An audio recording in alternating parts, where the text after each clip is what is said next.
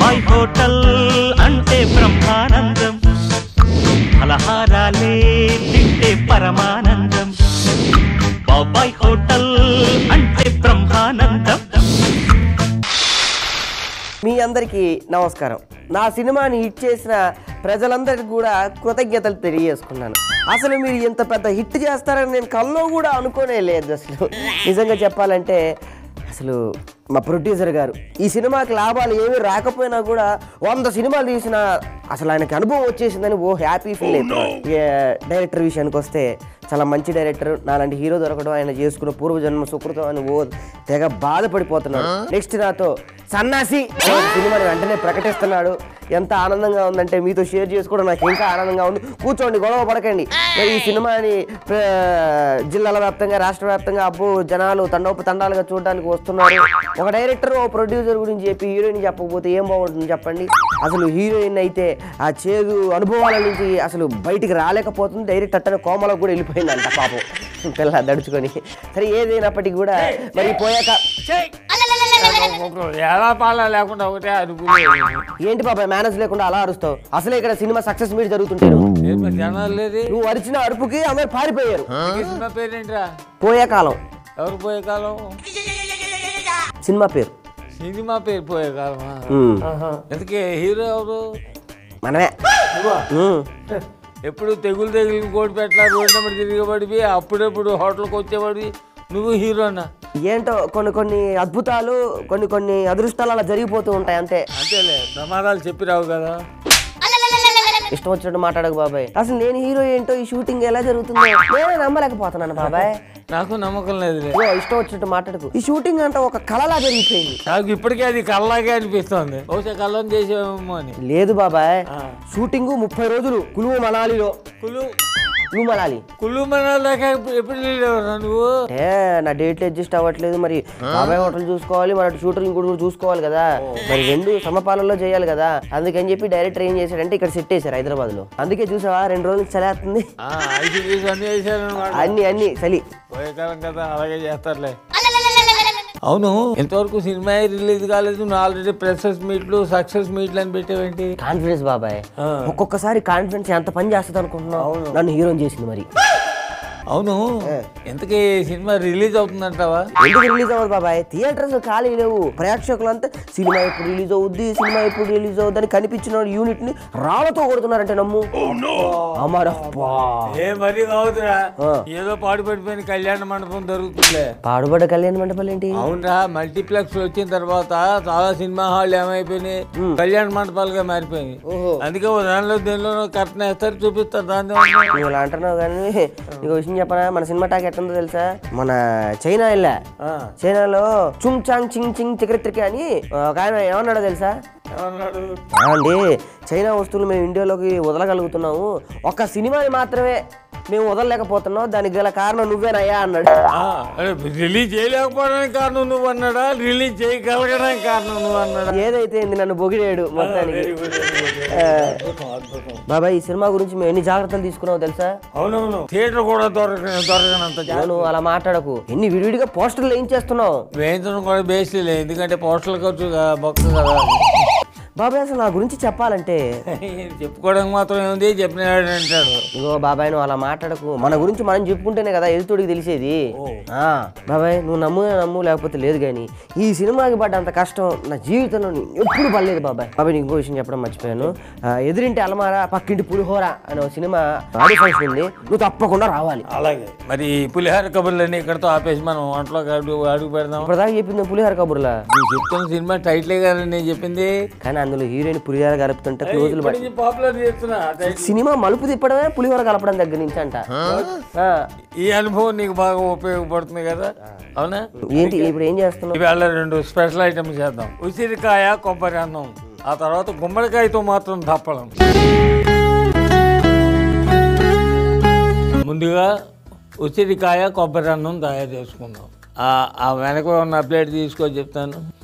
సహజంగా ఏంటంటే ఉసిరికాయ ఈ సీజన్లో తింటే జలుబు చేస్తుంది కోల్డ్ ఎఫెక్ట్ వస్తుంది ఇలాంటి భయాలు ఎక్కువ పడతారు. నిజానికి అలా భయపడాల్సిన అవసరం లేదు. భగవంతుడు ఏ సీజన్లో ఏ ఫ్రూట్ ఇవ్వాలో ఏ కాయ ఇవ్వాలో వాడికి తెలుసు. తగు మాత్రంగా సరైన సమయంలో తీసుకుంటే ఆరోగ్యానికి చాలా మంచిది.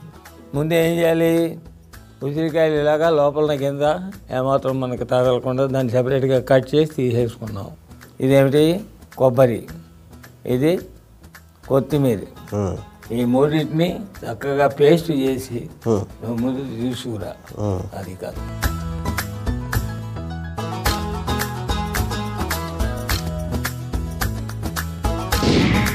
ఇదిగో బాబాయ్ తెచ్చాను. Very good very good very good బాగుందిరా. గుడ్ ఇప్పుడు ఎదురుకుండా ఉన్న పెద్ద బాణాలి పైన పైన ఉన్నది తీసుకో.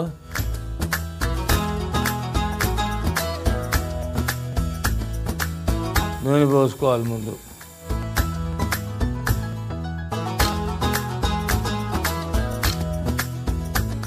స్టీల్ ప్లేట్ ఎలా తీసుకో? వెరీ గుడ్ ముందుగా దాంట్లో పసుపు వేయి. ఆవాలు మినపప్పు ఇంగువ ఇంగువ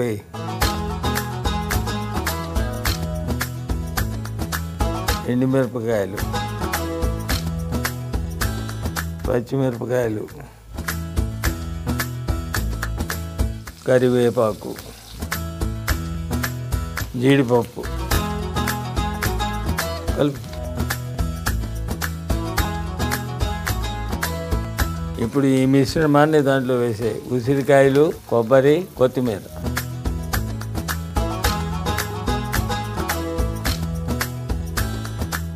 ఉప్పు. ముఖ్యమైన పదార్థం అది కదా.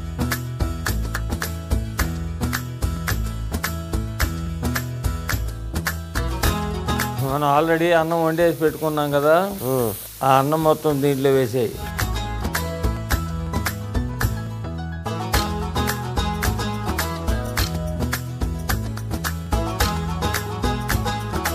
దీనంతా కూడా ఆ బేసిన్లో వేసేయి.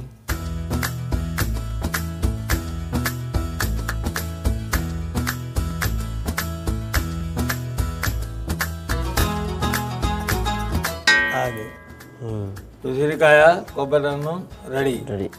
మరి దప్పడం చేసుకుందాం చేసుకుందాం. హలో? ఏంటండి? మన సినిమాకి థియేటర్ దొరికిందా? ఎంత శుభవార్త చెప్పారు. బాబాయ్ ఇది విన్నావా? నా సినిమాకి థియేటర్ దొరికిందంట బాబాయ్. ఏంటా అప్పుడు ఏదో సినిమా వంద రోజులు అన్నట్టు వాల్ పోస్టర్ పడినట్టు చెప్తున్నావు? లేకపోతే ఏంటి బాబాయ్ రేపు స్క్రీన్ మీద మన పేరు పడితే నలుగురికి మన ప్రతిభ గురించి తెలిస్తే నీ పెరుపు గురించి నాకు తెలుసు కదా చిన్నప్పటి నుంచి. సరే కానీ రాకూడదు నువ్వు కూడా? నా ఇంట్రడక్షన్ షార్ట్లు ఫైట్లు చూసి వచ్చి ఆనందపడదు కానీ అదే నేను డెఫినెట్లీ ఆనందిస్తాను కానీ ఆ సినిమా చూసిన తర్వాత అక్కడి నుంచి ఇక్కడ దాకా రావాలంటే చాలా కష్టం నా వల్ల ఏమవుతుంది? నువ్వు వెళ్ళి చూసి శుభ్రంగా ఆ రిపోర్ట్ ఏమిటో నాకు చెప్తాను. ఓకే బాబాయ్.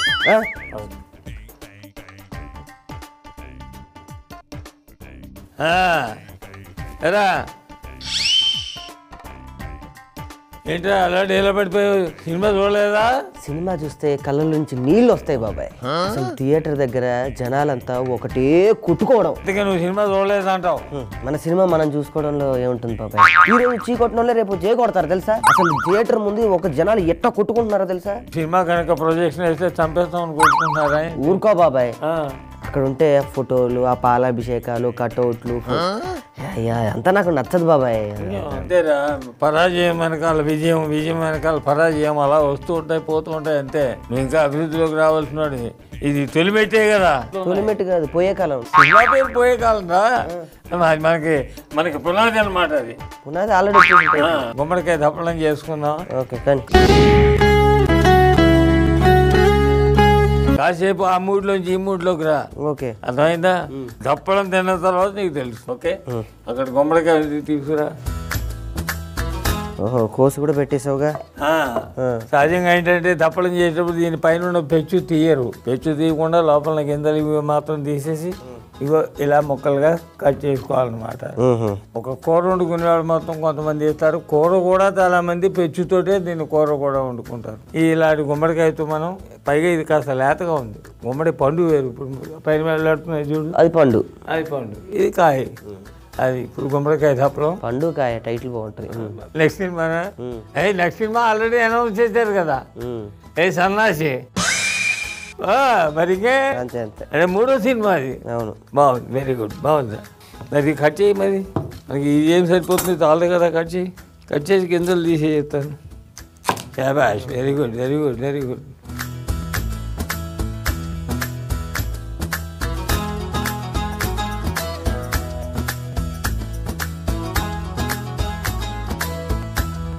ఇప్పుడు ఆ పెద్ద గిన్నె తీసుకుని దీని మీద పెట్టు.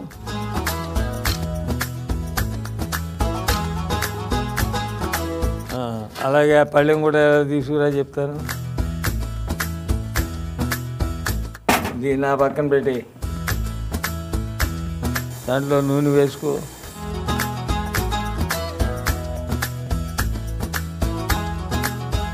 రేయ్ పసుపు వేసి పసుపు. నెక్స్ట్ ఆవాలు వేసుకో. ఎండుమిరపకాయలు వేయి. ఇంగు వేసుకో ఈ మిరపకాయలు కొంచెం నల్ల రంగు వచ్చినా కూడా పులుసులో బాగుంటాయి. అర్థమైందా అంచేత అయ్యి బాబాయ్ మాడిపోతుందని భయపడాలి వేసేనా? వేసే ఇప్పుడు ఇది ధనియాల పొడి. ఇప్పుడు ఈ గుమ్మడికాయ ముక్కలు వేసే దాంట్లో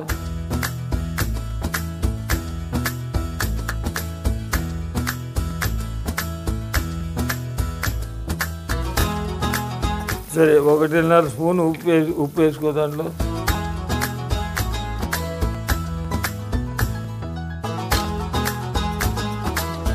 కలిపి ఒకసారి. ఇప్పుడు ఆ చింతపండు పులుసు దాంట్లో వేసాయి.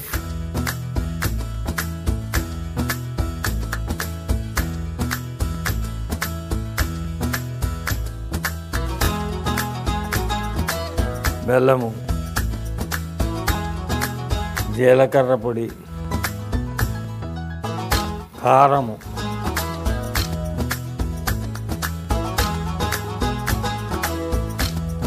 ఈ యొక్క కొత్తిమీర కూడా దాంట్లో మనం వేసేసుకోవాలి.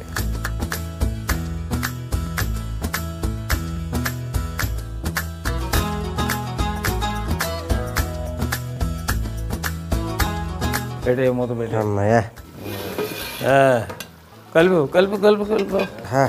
మళ్ళీ అంచులు అంటిపోకుండా వెరీ గుడ్ ఉడికిపోయినాయి. కదా, ముక్కలు కూడా ఉడికిపోయాయి కదా. ఓకే.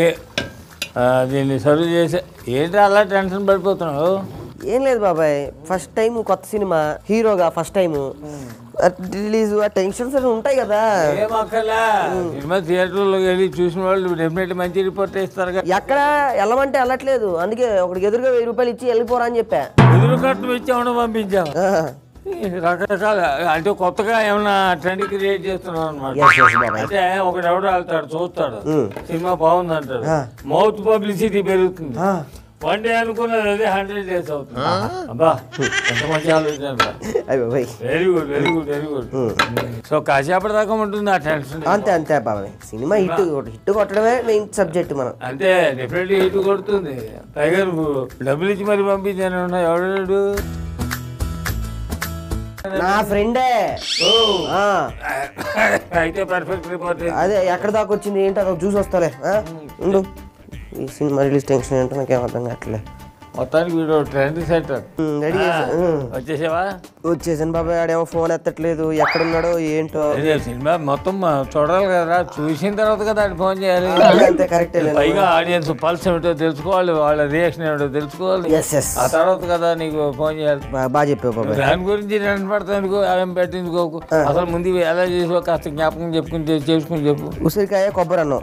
ఎలా చేసామంటే ముందుగా ఉసిరికాయ ముక్కలు కొబ్బరి ముక్కలు కొత్తిమీర కలిపి మిక్సీ పట్టి పేస్ట్ చేసుకోవాలి. ఇప్పుడు కడాయిలో నూనె వేడి చేసుకొని అందులో పసుపు ఆవాలు మినపప్పు ఇంగువ ఎండుమిర్చి పచ్చిమిర్చి కరివేపాకు జీడిపప్పు వేసి వేయించుకోవాలి. ఇప్పుడు ముందుగా మనం చేసుకున్న ఉసిరికాయ మిశ్రమం ఉప్పు వేసి బాగా కలుపుకోవాలి. ఆ తర్వాత ముందుగా మనం చేసుకున్న అన్నం వేసి బాగా కలుపుకుంటే ఉసిరికాయ కొబ్బరి అన్నం రెడీ. అలా చేసుకున్నాం.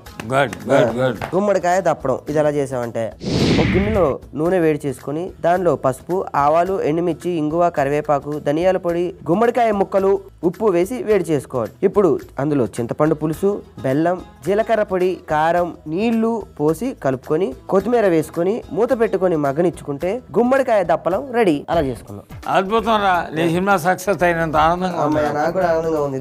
Very good. తీసుకో. రేయ్ కరెక్ట్ టైంకి కస్టమర్ కూడా వచ్చేసాడు రా. కస్టమర్ కాదు బాబాయ్ నేను సినిమాకి పంపించాను కదా నా ఫ్రెండ్. ఈడే. సినిమా. చెప్పకరా. ఏదో నాకు ఉన్న టెన్షన్కి ఆ, ఈ రిజల్ట్ ఇనే అంత ఇది లేదు. అంత గుండె ధైర్యం కూడా లేదురా నాకు. అంత భయపడిపోవడం కదా ఏమన్నా సాగు కబురేట్రా చెప్పండి రాదు వద్దులే బాబాయ్. నువ్వు రారా? నువ్వు ఎప్పుడు అన్నంగా తిన్నావో ఏంటో? ఏంట్రా థియేటర్ దగ్గర ప్రేక్షకుల పల్స్ ఏంటి? ఆ, అవి చెప్తారు తినేవరా ముందు. అదే కరెక్టే. దా, దా, దా, దా. ఒరేయ్ వంద రోజులు అంటున్నారా రెండు వందల రోజులు అంటున్నారా? తినరు వెరీ గుడ్ వెరీ గుడ్ గుమ్మడికాయ పులుసు కూడా ఆ.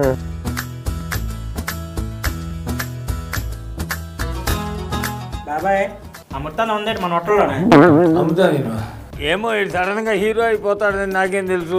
ఈసారి శుభ్రంగా పెద్ద ప్యాకేజ్ తెప్పిస్తా ఓ వంద అమృతాంజనాలు మిగతా ఏవో రకరకాల బాంబులు అవన్నీ తెప్పించి పెడతాను. తెప్పించి పెట్టి బాబాయ్ అవసరానికి పనికొస్తాయి. ఏయ్, ఏయ్, ముందు తిను. అదేం చెప్తున్నాను ఎలా ఉందో. ఆ, ఉసిరికాయ కొబ్బరి అన్నం.